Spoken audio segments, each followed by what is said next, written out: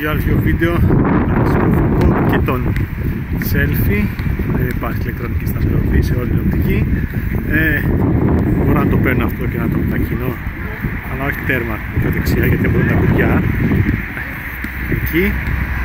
Για να κάνεις dual view βίντεο και να vlogγάρεις και να φαίνεσαι.